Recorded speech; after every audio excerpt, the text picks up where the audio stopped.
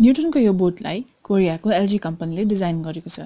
यो बोटमा एउटा तैरिने प्लास्टिकको बोट हुन्छ जसमा मोटरले जोडिएको पङ्खा हुन्छ जुन स्विचको सहायताले चल्ने गर्दछ।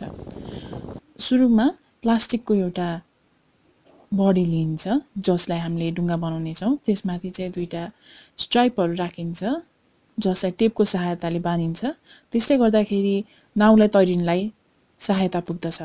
त्यसपछि त्यसमा खाली ठाउँमा एउटा स्विच जडान गरिन्छ र तिन भोल्टको दुईवटा ब्याट्रीहरू हालिन्छ।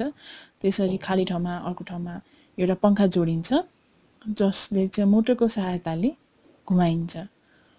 अब यो नाउको तल चाहिँ स्टाइफोनको दुईवटा पट्टीहरू बाँधिन्छ र अब यो स्विच अन गर्ने बित्तिकै पङ्खा घुम्दछ। अब तपाईँले एउटा ठुलो गोलाकार टबमा सो नाउ राख्नुहोस्। र नाउ राखिसकेपछि त्यसलाई स्विच अन गरेर हेर्नुहोस्।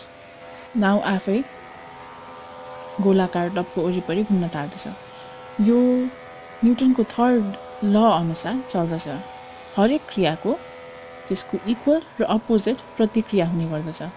जब हावा पङ्खाको सहायताले अगाडि फ्याँकिन्छ तब सो नाउ पछाडितिर घुम्ने गर्दछ। यसरी यो बोट तयार हुन्छ